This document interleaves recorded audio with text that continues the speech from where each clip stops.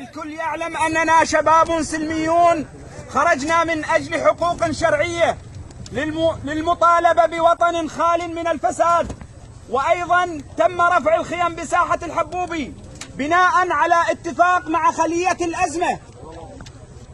ولكن ما يبعث على العجب هو الاعتقالات المستمرة للمتظاهرين السلميين بتهم كيدية وكان آخرها اعتقال المتظاهر السلمي عباس خلف والمتظاهر السلمي ضياء الغزي. وقد يستمر هذا المسلسل لذا نحذر كمتظاهري قضاء الإصلاح ومواطنيها للاستمرار على هذا النهج على شبابنا السلميين. وبذلك وبذلك نمهل الجهات المختصة التي يعرفها الجميع. نمهل الجهات المختصة خلال هذه الأيام للإفراج عنهم. وخلال ذلك سوف تكون لنا وقفة أخرى ضمن الطرق السلمية التي كفلها الدستور العراقي. الرحمة والخلود لشهدائنا والحرية لجميع المعتقلين والمغيبين. متظاهري قضاء الإصلاح عاش العراق. عاش العراق عاش العراق عاش السلام عليكم ورحمة الله وبركاته. أهلا بكم مشاهدينا الكرام إلى حلقة جديدة من برنامج صوتكم.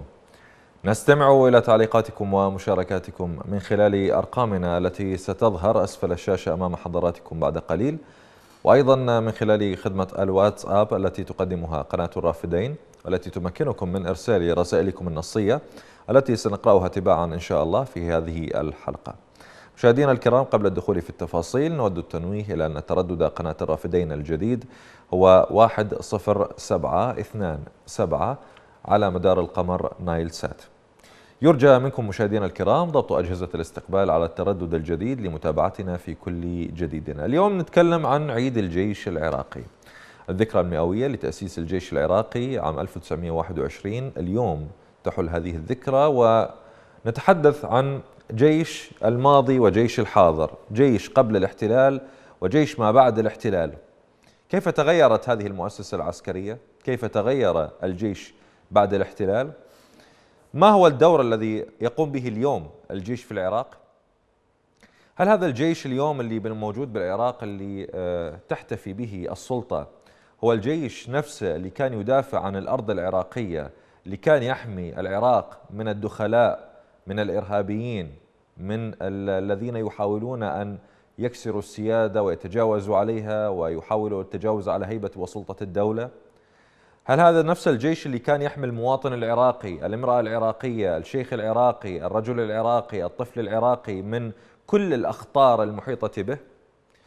شلون تشوفون دور الجيش العراقي اليوم أو الجيش اللي بالعراق اليوم؟ بعد أن تم حل الجيش العراقي السابق في 2003 على يد الاحتلال الأمريكي بالتعاون مع زعماء الأحزاب والميليشيات اللي موجودين اليوم بالحكم في العراق شلون تشوفون الجيش اللي تم تأسيسه على يد الاحتلال وعلى يد أحزاب وميليشيات السلطة اليوم هل ترونه جيشا وطنيا فعلا؟ هل هذا الجيش يملك عقيدة؟ هل هذا الجيش مخصص أو أسس وفق الأعراف والتقاليد المتبعة في كافة دول العالم بالنسبة للمؤسسات العسكرية الرصينة؟ طيب ليش شفنا هذا الجيش انكسر تحت أقل الأسباب مثل الهزيمة اللي صارت بالموصل أو أن هزيمته أمام داعش بالأنبار من من تركوا الحدود مفتوحة ودخل دخل هذا التنظيم أو الإهانات اللي يتعرض لها يوميا عن طريق ميليشيات الحشد وغيرها من الميليشيات اللي موجودة بالعراق اللي تتجاوز على أعلى سلطة عسكرية موجودة في العراق شلون تشوفون حال الجيش العراقي أو المؤسسة العسكرية في ذكراها المئوية؟ واليوم نشوف الميليشيات نفسها اللي تتطاول على الدولة وعلى سيادة الدولة وعلى المؤسسة العسكرية. اليوم تمدح بهذا الجيش وتقول بأنه آه، تحيي هذا الجيش طبعا بمناسبة الذكرى المئوية وتطالب بحصر السلاح بيد الدولة بيد الدولة عفوا. شلون تشوفون دور هذا الجيش بالتعامل مع الخارجين عن القانون من ميليشيات من تجار مخدرات من آه، تجار بشر موجودين بالعراق من مجرمين من فاسدين من دخلاء على العراق إيرانيين وغيرهم. شلون شفتوا تعامله مع كل هذه الأحداث اللي جرت وتجري من 2003 ولغاية اليوم؟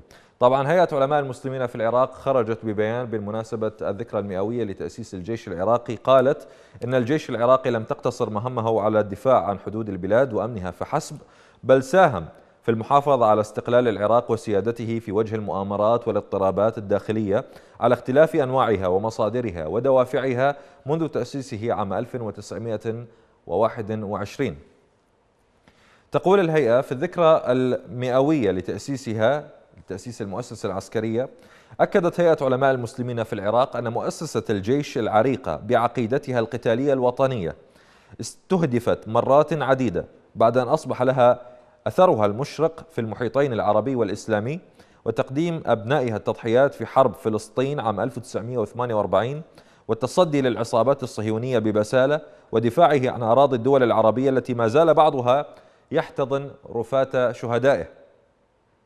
تابعت الهيئة أن الفرصة سنحت للأعداء البعيدين والقريبين بعد غزو العراق واحتلاله بعد عام 2003 لاستهداف الجيش والثأر من دفاعه المجيد عن العراق في الحرب المفروضة عليه من إيران ليصدر قرار من الإدارة الأمريكية بحله واستبداله بميليشيات موالية لإيران بحجج واهية ومسوغات باطلة قسمت ظهر العراق وما زال كذلك إلى اليوم.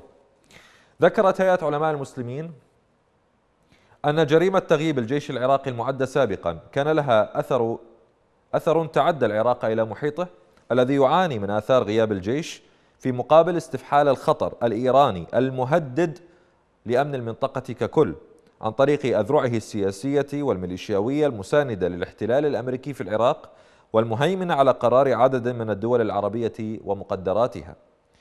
أكدت الهيئة أن قيام جيش وطني قوي يدين بالولاء لدينه ووطنه وأمته ويحرص على أرض العراق وشعبه وثرواته ويعمل من أجل استقلاله وسيادته هو أحد شروط نهضة العراق من واقعه المرير.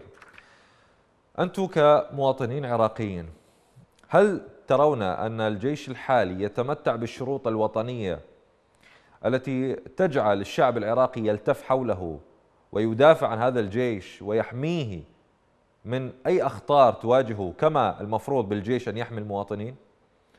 ليش شفنا حالات كثيرة ظهرت بها القوات الحكومية على رأسها الجيش وهي تعتدي على الناس الأبرياء من متظاهرين من نازحين من مهجرين من عراقيين أبرياء خرجوا ربما ليطالبوا بحق مشروع أو تعرضوا إلى مظلمة من الميليشيات ففاقمت القوات الحكومية من معاناتهم.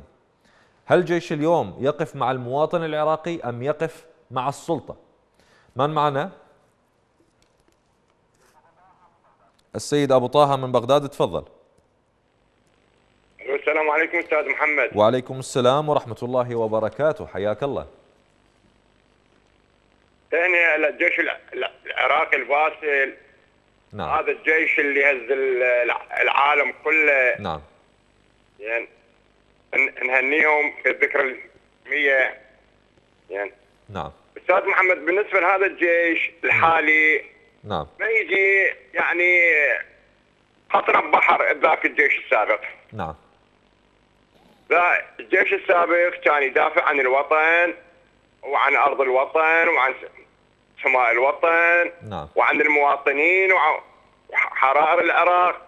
عكس هذا الجيش هسه اللي قاعد يقتل بالعالم ويهجر بالعالم هذا الجيش نعم. مو الجيش العراقي اللي نعرفه إحنا وتعرفه كل الدول. الجيش العراقي كانت له صولات وجولات. نعم. مو هذا الجيش الحالي. جيش طائفي جيش ميليشيات. منو صنف هذا الجيش أحسن من الجيش السابق؟ الساس الموجودين. هم ما عندهم كل كل خبرة وكل الطلعات العسكرية ليش ليش يا أبو طه برايك ليش يا أبو طه وصل الجيش اليوم إلى هذا الحال إنه يضرب به المثل بالفساد بالانهيار بأن هو يحمي النظام السياسي وأن هو عبارة عن دمج وميليشيات. ليش وصل إلى هذا الحال؟ هم السياسيين هم رادوها هيك نعم. بأنه خوفا على أسيادهم بإيران مو أسياد العراق. إحنا الشعب العراقي أسياد الحكومة. نعم. زين؟ هم جابوهم الإيرانيين. يخافون على إيران. إذا صار الجيش مثل ما كان بالأول زين؟ يقول لك خاف يفوت على إيران. نعم. هذا القصد أستاذ محمد. زين؟ ولا هذا الجيش يعني ما يجي 5% من ذاك الجيش. يعني خدمنا بذاك الجيش. نعم. وصرنا نطب معارف. ونطب مناطق فيها عوائل. نعم. شلون نقدر العوائل وشلون نقيم بواجبهم أبعدهم عن خط النار وحمايتهم. مو هسه يهجرون العالم يهجرون المواطنين نساء وأطفال وشيوخ نعم. ويقول لك هذا الجيش العراقي أحسن من ذاك الجيش. لا. حشاك انت وحاشا السامعين. غلطانين. نعم. غلطانين نس- نسمع اللي قاعد ذاك الجيش اللي قاتل إيران ثمان سنوات. يعني إحنا كانت تدق السياره بالجندي أربع ساعات بس بالأراضي الإيرانية. نعم. هم متخبطين من هذا الشيء ترى أستاذ محمد؟ طيب أنت قلت أنت قلت إحنا الموجودين. أنت قلت إحنا لما كنا نقاتل بالجيش السابق وخدمنا كنا ننظر إلى المواطن العراقي بنظرة احترام نعامل ال- الإنسان آه، من مبدأ الإنسانية وبالنهاية إحنا قوة تحميه ليش تغير الدور اليوم واللي نشوفه مثل ما تتفضل الجيش آه، الموجود حاليا ومو بس الجيش كل القوات الأمنية الموجودة بالعراق اليوم لا على رأسها الجيش تتعدى على المواطن على حقوق المواطن على أملاكه على حريته تهجره تعتقله بدون مذكرات قضائية يتعر- يتعرض بسجونها ومعتقلاتها لأسوأ أنواع التعذيب. ليش المواطن اليوم مستهدف وهم يرفعون شعار حماة الوطن؟ لا والله أستاذ محمد لا حماة الوطن ولا أبد. هذا الجيش بس مجرد يحمي أساس العراقيين. نعم. بس عنده استعداد أن يدمر كل الشعب العراقي مم. بس يبقون الساده الإيرانيين والساسه الموجودين يبقون هم بخير نعم عسى ما ينقتل الشعب العراقي كله مم. ولا نعم. تنهز لهم شعره بأنه جيش مو عراقي مم. نص الجيش هسه اللي موجود ميليشيات إيرانية نعم. وقادتهم إيرانيين. و- نعم. وكل هذا عرف المواطن العراقي والشعب العراقي. شعب واعي نعم. مثقف ويفتهم زين. عرف هلا الاعيبهم كلها من نعم. 2003 لحد الآن. عرف دول السياسيين شو يردون طيب. يعني من جايين جايين لتدمير العراق. دمروا الجيش بال 2003 وجو سعادوه كله جيش ميليشيات نعم. وطائفي مم. وإيراني. زين. على أساس نعم. يطب لنا إيراني يقود الجيش. قادتنا إحنا وين راحوا؟ قادتنا كانوا يهزون جاحز نعم. سيد سيد أبو طه أنا أشكرك. شكرا جزيلا. وصلت فكرتك. شكرا جزيلا للمشاركة سيد أبو طه من بغداد. عندنا رسالة من السيد أبو عمار من السويد يقول السلام عليكم أستاذ محمد. الجيش السابق كان جيشا يحمي العراق وشعبه.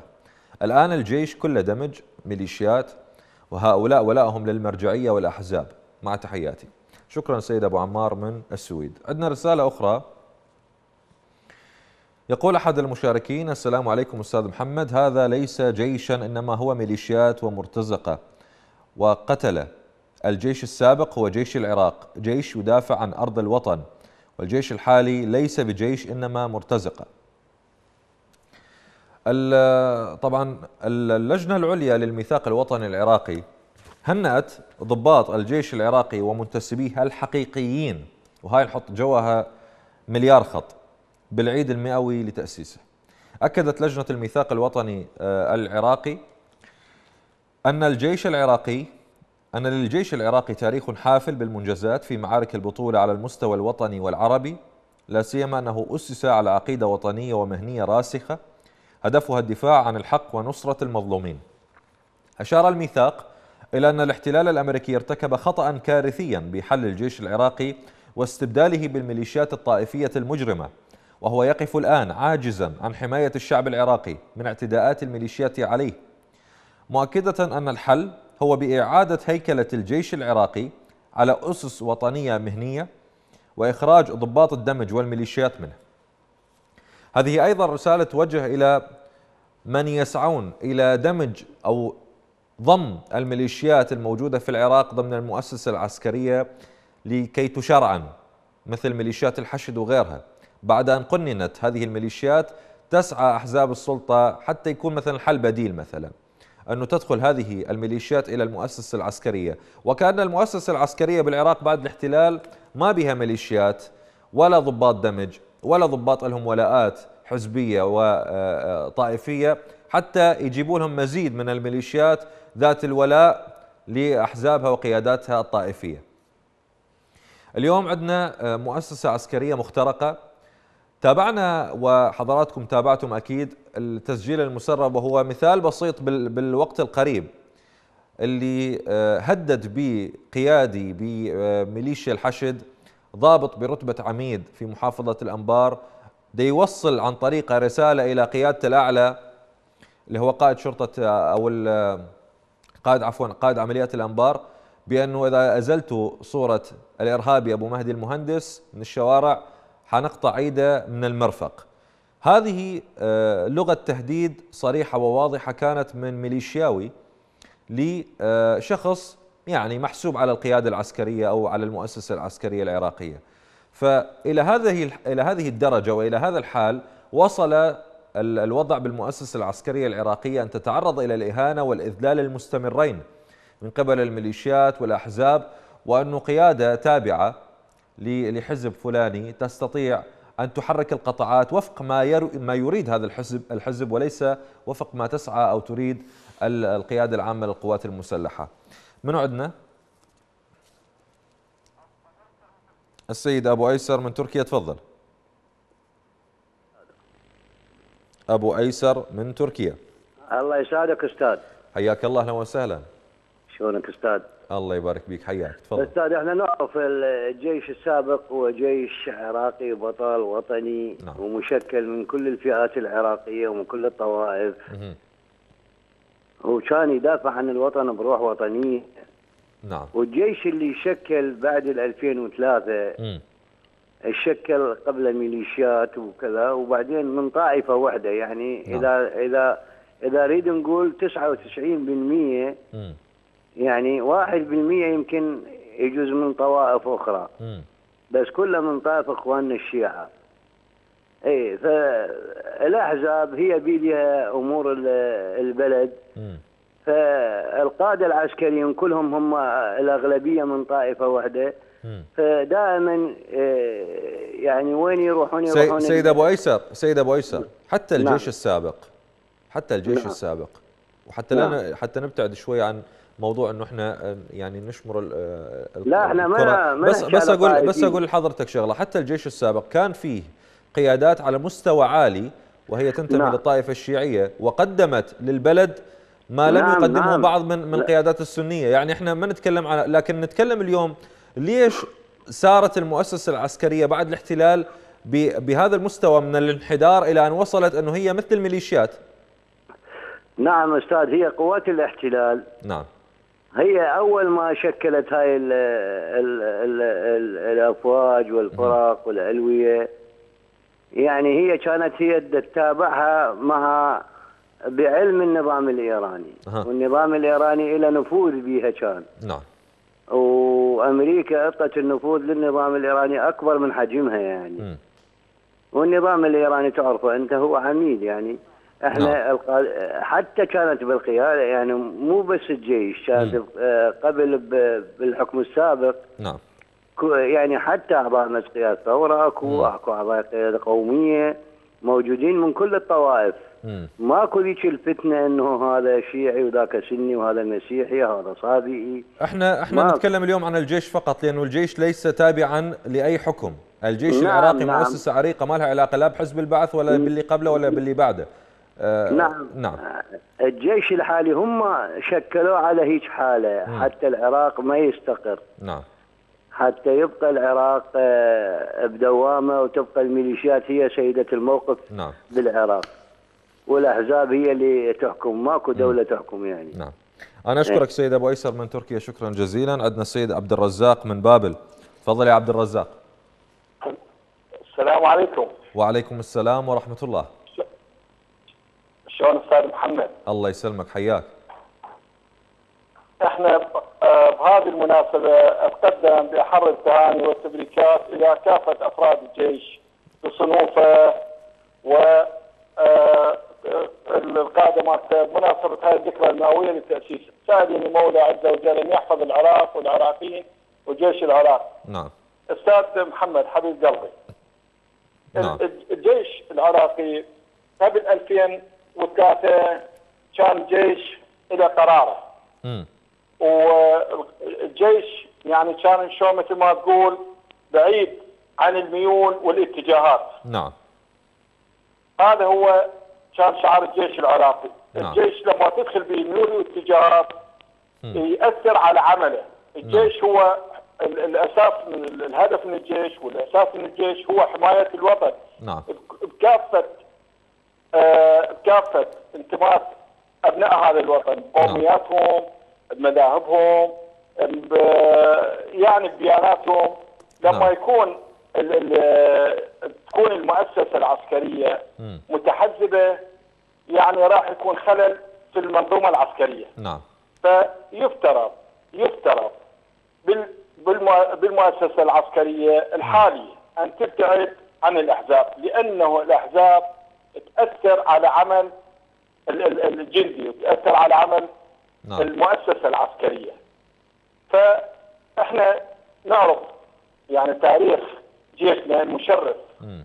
يعني بال 48 بال 67 شلون شلون بال يقدر 73. الجيش شلون يقدر الجيش يبتعد عن الأحزاب ويكون آه، غير تابع للأحزاب وغير مقاد من الأحزاب؟ وعندك الحكومة ممثلة بالقائد العام للقوات المسلحة. هذا هذا الشعار الطويل العريض وهو ما يقدر يعطي أمر وينفذ من من قواته يعني هو ما هو فاقد للسيطرة على قواته شلون المفروض ينسحب الجيش ويبتعد عن الأحزاب وتكون وظيفته وظيفة أي جيش معروف بالعالم الدفاع عن الحدود وعن البلد وعن أمنه واستقراره.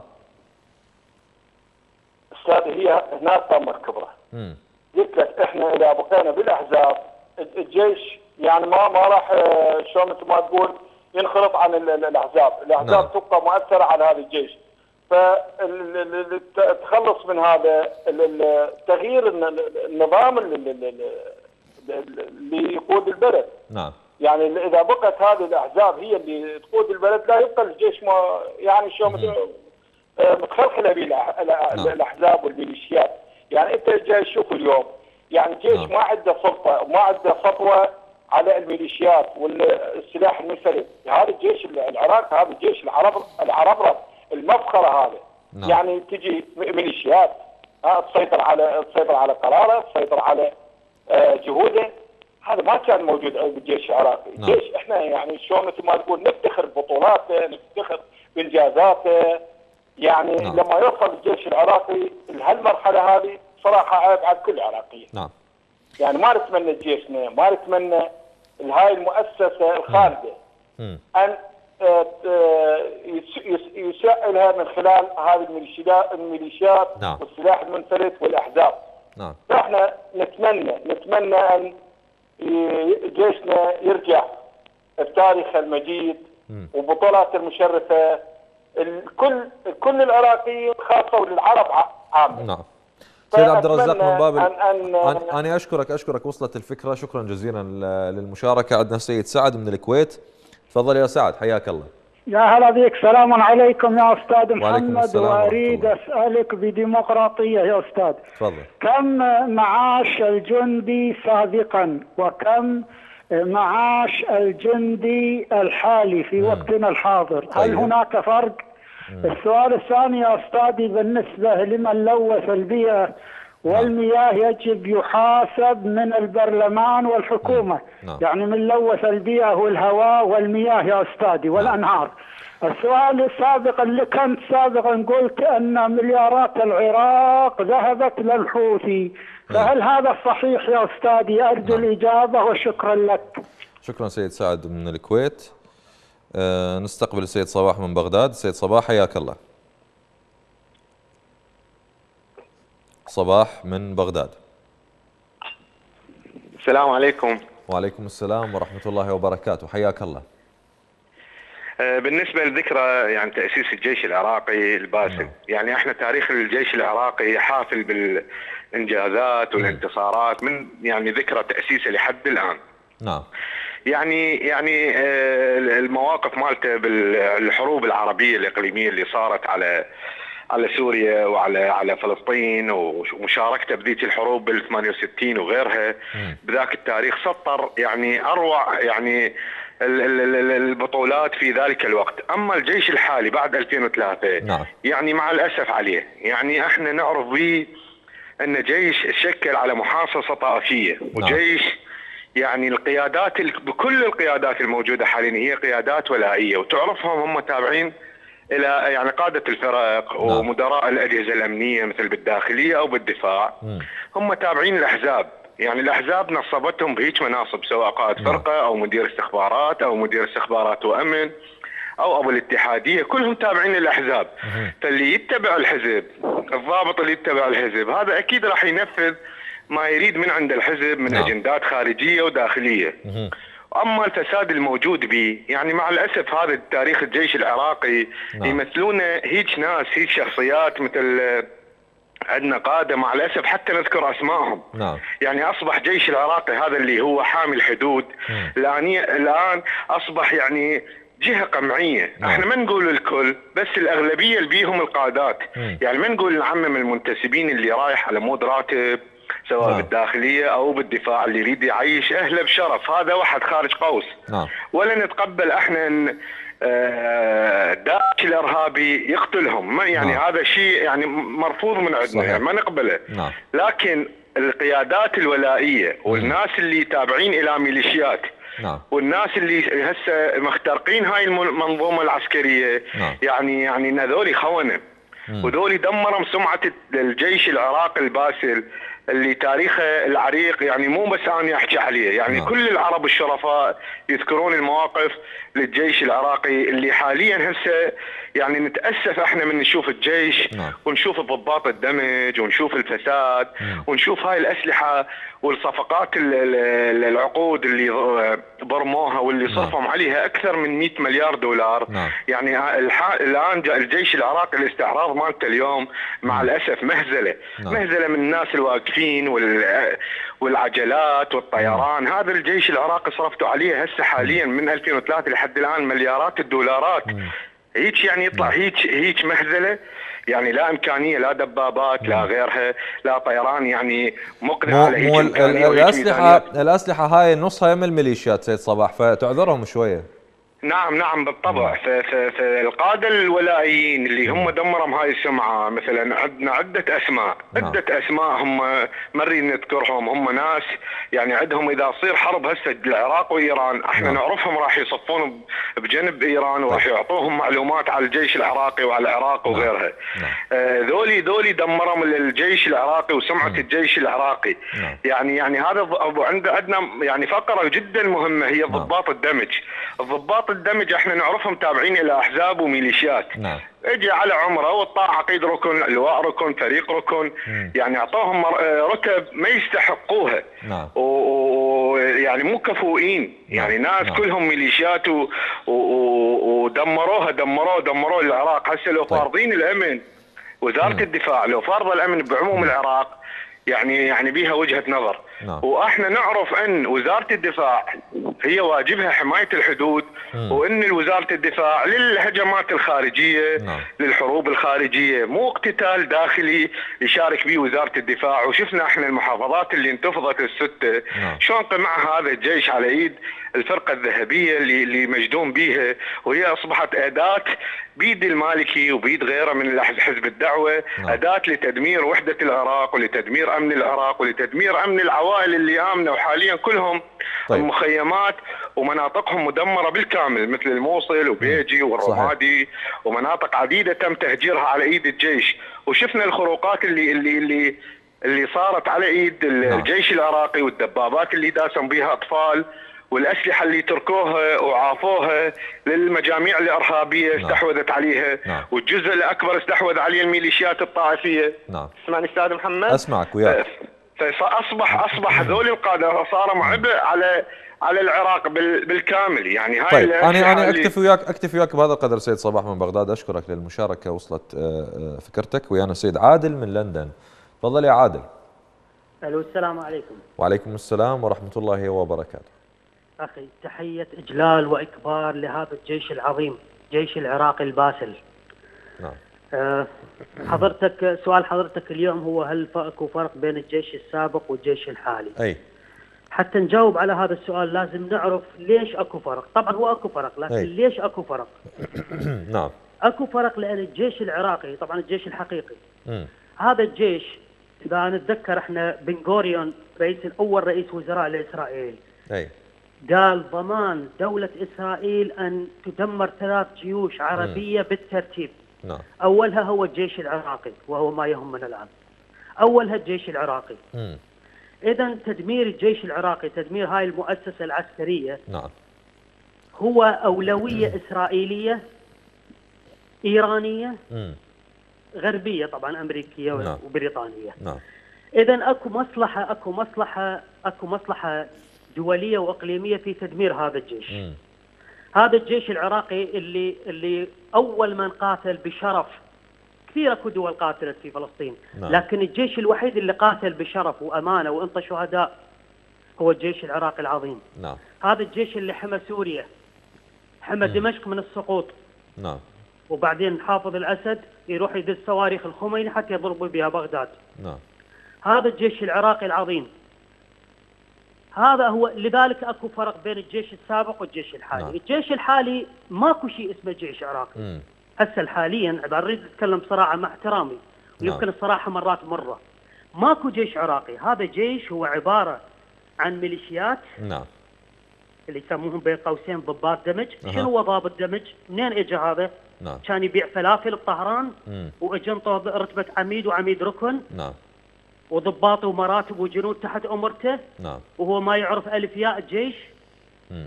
ماكو جيش عراقي. لو أكو طيب جيش يعني عراقي بهاي طبعاً النقطة ال- بهاي النقطة سيد عادل اليوم وزارة الدفاع والحكومة طبعا أمرت بترقية الضباط اللي اللي آه، يعني استحقت ترقيتهم بهاي المناسبة. طبعا سرعت من الموضوع. هل تعتقد إنه بالجيش الحالي موجود خاصة في ظل نظام الدمج ونظام الترفيع اللي صار على أساس الواسطات وعلى أساس المعارف وال- والتحزب وغيرها اللي اللي بعضهم صعدوا ثلاث رتب مرة واحدة.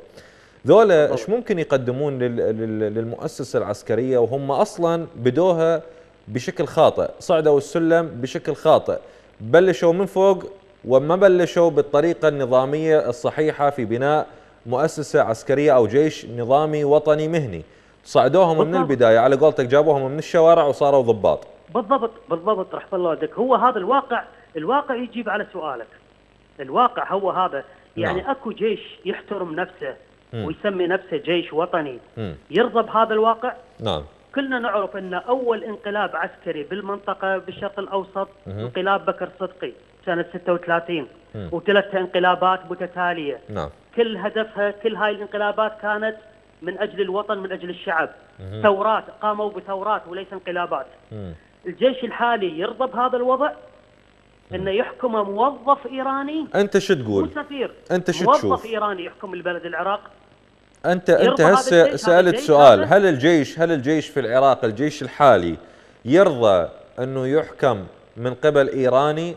طيب صار 17 سنة على هذا الكلام. أنت شنو جوابك ورا 17 سنة وطابين على السنة 18 من الاحتلال؟ إيش تجاوب نفسك بهذا السؤال؟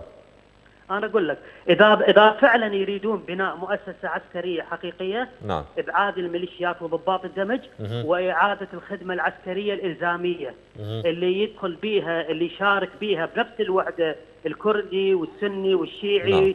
والصابئي وكل كل شرائح المجتمع العراقي نعم وضباط عراقيين حقيقيين مم. حقيقيين نعم. ولازم عراقي عراقي اما وابا نعم وجدا وجدا نعم عراقي حقيقي مو عراقي عراقي راضع من غير مكان. نعم. مو عراقي ولاء الغير بلد. نعم.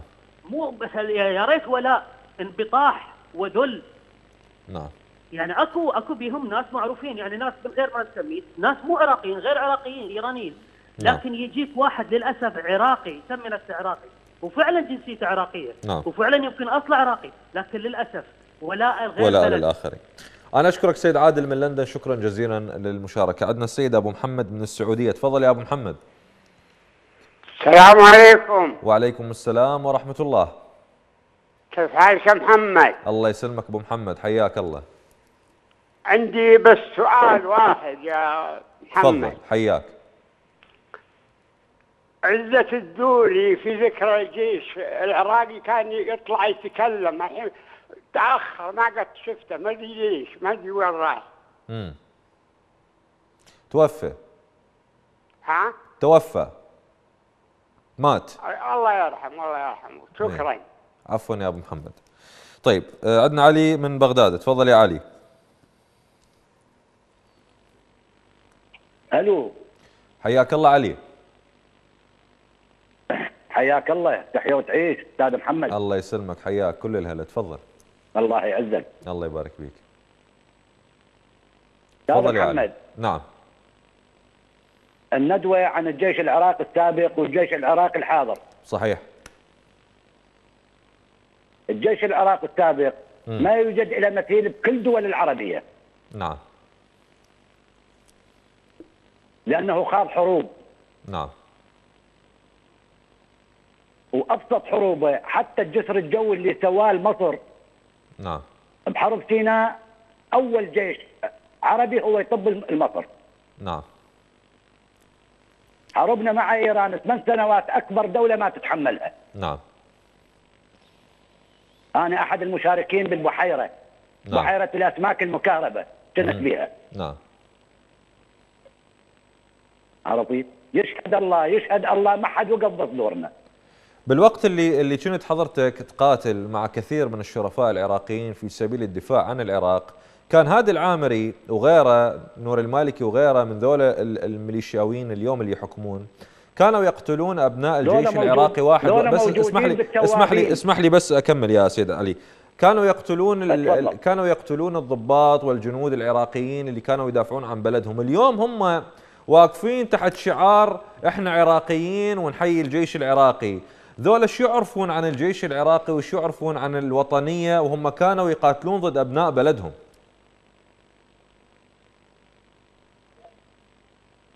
سيد علي. أنا وياك أستاذ العزيز. تفضل. أسمع. دول كل ولاء ما إلهم للعراق. نعم. من خانك مرة خانك مرات. لأنه كانوا يقاتلون على الساتر المعادي. إحنا نسميه الساتر المعادي. نعم. وعلى بحيرة الأسماك بالضبط. نعم. وقائد الفيلق كان ماهر عبد الرشيد. مم. نعم. فشلون هسه تريد يحبك ويواليك؟ ما يواليك. طيب. سيد علي من بغداد أنا أشكرك شكرا جزيلا للمشاركة. سأل السيد سعد من الكويت سؤال اللي هو كم معاش طبعا دي يسأل سؤال مقارنة شلون آه، معاش الضباط أو شلون معاش الجيش السابق بأفراد ضباط ومنتسبين كجنود والجيش الحالي؟ طبعا فرق من ناحية ال- ال- القيمة المادية اللي كانوا يحصلون عليها والرواتب أو المعاشات مثل ما يسموها بالكويت آه، بالجيش السابق والجيش الحالي. لكن هذا المبلغ وإن كان بسيط في السابق لكن كانت هناك امتيازات أخرى يتمتع بها ال- العنصر ال- ال- المنضم ضمن المؤسسة العسكرية إن كانت آه، من من آه، غذاء وتجهيزات وغيرها وإن كان لما يطلع يرجع إلى بيته يلقى بيته موجود بمادة غذائية تقدم شهريا إلى العائلة العراقية إلى كل فرد من أفراد العائلة اللي هي الحصة التموينية. يعني راتبه القليل وإن كان قليل لكن كان بيته وهو بالجبهة وهو دا يقاتل وهو دا يدافع عن بلده بيته مؤمن بحصة تموينية ومادة غذائية وغيرها. والأهم من ذلك أنه هو كان يقاتل وفق عقيدة وهي حب الوطن والدفاع عنه الدفاع عن أهله شرفه أرضه وماله. في المقابل بعد الاحتلال وإن كان الجندي يأخذ مليون دينار عراقي اللي هو تقريبا قبل لا يخفضون قيمة الدينار كانت عبارة عن 800 دولار. وطبعا يتراوح هذا المبلغ من 800 ألف ويصعد حسب الرتبة والضابط وغيرها. لكن ما الذي تقدمه هذه المؤسسة العسكرية بعد الاحتلال حتى لو كانت الرواتب عالية؟ هل على الأقل يحللون الراتب اللي دا يأخذوه؟ هل دا يدافعون عن الوطن؟ هل دا يدافعون عن العراق أرضا وشعبا؟ هل حموا الحدود من الإيرانيين من تجار المخدرات من التنظيمات الإرهابية من الفاسدين؟ ليش تحولوا إلى مجموعة من الميليشيات القتلة اللي يبتزون العالم؟ يعتقلون بدون أوامر قضائية ويخفون الناس. وتعال تريد تطلع ابنك تدفع فلوس. يساومون البشر على أرواحهم على أبنائهم. أصبحت هذه المؤسسة عبارة عن مجموعة من المنتفعين من ضباط ومنتسبين يستغلون السلطة في سبيل تحقيق مآرب شخصية حزبية فئوية. وطبعا هناك دوافع طائفية وأحقاد تحملها يحملها أشخاص كثر داخل هذه المؤسسة العسكرية. المعاش مو قياس لشيء قد يكون قليل في السابق واليوم كثير لكن فرق بين المؤسستين والموضوع ما مرتبط بالنظام السابق. إحنا نتكلم عن الجيش العراقي من 1921 لغاية 2003 بحكومات مختلفة. من عندنا السيد ممتاز من رومانيا تفضل. السيد ممتاز نص صوت التلفزيون لو سمحت. حياك الله. مساء الخير كل عام وأنتم بخير. مساء النور وانت بألف خير. بس لو تنص صوت التلفزيون لو سمحت. إيه إيه. تفضل. إيه. طبعا الحكام هسه الجايين. نعم. كلهم هم إيرانيين. مه. أولهم المالكي مرته إيرانية. والفلوس اللي أخذوها من العراق كلها منقولة لأمريكا. طيب. اذا هم كانوا ضد ضد العراق. وهسه جو يحكمون العراق. وين صايره هذه؟ نعم. وحرب عراق وإيران، إيران هي ضربتنا والله العظيم حتى أنا كنت بعدني كان عمري 14 سنة، نعم. إي 4 لأن خدمت بالجيش سنة ال 84 كان عمري 14 سنة. كانوا يذبون ملاعيب وملاعيب وما أدري شنو كلها بيها بيها جرثومات وبيها ما أدري شنو. نعم. والله والله والله. ما حد يقاوم حرب العراقية الإيرانية ولا جيش أمريكا ولا روسيا ولا أي دولة من العالم. نعم. الجيش العراقي الباسل البطل. نعم. ماكو مثله أصلا. وه- وهسه بعد الله يرحمه الشهيد صدام حسين بهدوا العراق وباعوا العراق ونهبوا العراق وخربوه كله. من البداية للنهاية من اجى نور المالكي لحد الآن. مم. لحد الآن. يعني هسه بيطلعون كلهم بالتلفزيون وبالهات مم. سووا سووا بال... بال... للعراق وللشعب العراقي. نعم.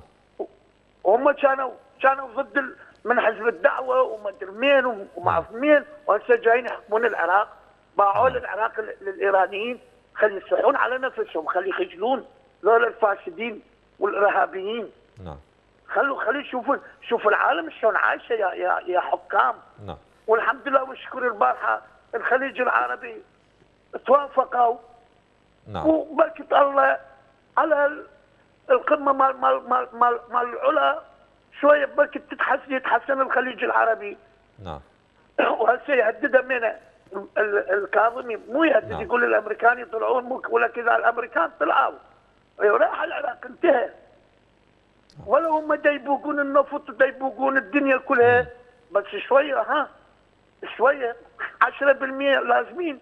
طيب. مو لهالدرجة مو لهالدرجة. سيد ممتاز آه أنا أشكرك وصلت فكرتك. شكرا جزيلا للمشاركة. وطبعا نرجع ونقول مشاهدينا الكرام إنه الموضوع ما مرتبط ب لما نتكلم عن مقارنة ما بين الجيش السابق والجيش الحالي ما معناها الجيش السابق جيش النظام السابق؟ لا إحنا نتكلم عن الجيش العراقي منذ تأسيسه من 1921 لغاية 2003 اختلفت عليه الحكومات لكن تبقى المؤسسة العسكرية العراقية اللي مع اختلاف الحكومات ظل هدفها واحد وهو حماية العراق وحماية أبناء العراق المواطنين باختلاف طوائفهم وانتماءاتهم الفكرية والعقائدية وغيرها. هذا البلد هو يقع آه، تقع حمايته على عاتق المؤسسة العسكرية العراقية والأمن الداخلي على عاتق وزارة الداخلية وينتهي الموضوع. لكن إحنا نتكلم على أنه بعد 2003 كيف تغيرت هذه المؤسسة العسكرية وأصبحت منبوذة. اليوم آه، على مواقع التواصل الاجتماعي ناشطون وإعلاميون طبعا أطلقوا اسم حمل عنوان عيد الجيش العراقي. بهاي المناسبة مناسبة الذكرى المئوية لتأسيس هذه المؤسسة. لكن التغريدات اللي حملتها أو اللي حملها هذا الوسم كانت مختلفة وحقيقة ربما لم تتوقعها آه، كثير من أحزاب السلطة وحتى من آه، قيادات ربما بالجيش وغيرها أنه المغردون آه، اللي اللي غردوا وتفاعلوا بهذا الوسم هاجموا بشكل كبير الجيش وقالوا بأن هذا الجيش هو الذي كان يقتلنا. إذا أنت جيش الوطن ليش تدافع عن الفاسدين؟ ليش تدافع عن القتلة؟ ليش قتلت المتظاهرين بالشوارع؟ ليش دهستهم بالسيارات؟ جميل الشمري ارتكب مجزرة بمدينة الناصرية وبعد موجود بالخدمة والحكومة تنقله من مكان إلى مكان. رشيد فليح بالبصرة يبرر يبرر الانتهاكات اللي تصير على يد الميليشيات والأحزاب آه، بالمحافظة. يعني كقيادات أمنية بشكل عام إن كانت جيش أو غير جيش. فالقصد أنه المؤسسة الأمنية بالعراق العسكرية بضباط بمنتسبين. طبعا هذا الموضوع لا يعني أنه الكل. إحنا نتكلم عن دائما آه، مبدأ العموم هو مبدأ ملغي وطبعا لا يستخدم لأنه غير صحيح. إحنا نتكلم عن جزء كبير من هذه المؤسسة العسكرية من أفراد منتسبين وضباط وطبعا الانتهاكات الخطيرة. الأمم المتحدة في الانتهاكات في العمليات العسكرية اللي صارت ضد داعش في المحافظات المنكوبة قالت بأنه هناك انتهاكات كثيرة وقعت في المناطق التي تخضع لسيطرة القوات الحكومية جيش وغيرها. إذا هو مشارك بانتهاكات كثيرة آه، في المحافظات المنكوبة وغيرها طبعا من المحافظات العراقية الأخرى وأساء عن طريق القيادات والأفراد إلى اسم المؤسسة العسكرية العراقية بهذه السياسات الخاطئة والنهج الخاطئ وطبعا بسبب التبعية والأوامر الأخرى التي يتلقاها. التي بعيدة كل البعد عن الوطنية وعن المهنية. إحنا وصلنا مشاهدينا الكرام إلى نهاية حلقتنا لهذا اليوم. أشكركم شكرا جزيلا لطيب المتابعة وإلى اللقاء.